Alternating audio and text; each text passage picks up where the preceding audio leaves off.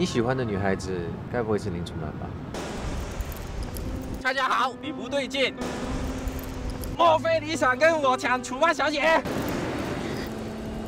连楚曼小姐喜欢别人了，她永远不可能会喜欢我的。她爱的是有钱人，她爱的是钱。我不知道你的私人小岛居然这么……我要把林楚曼忘掉。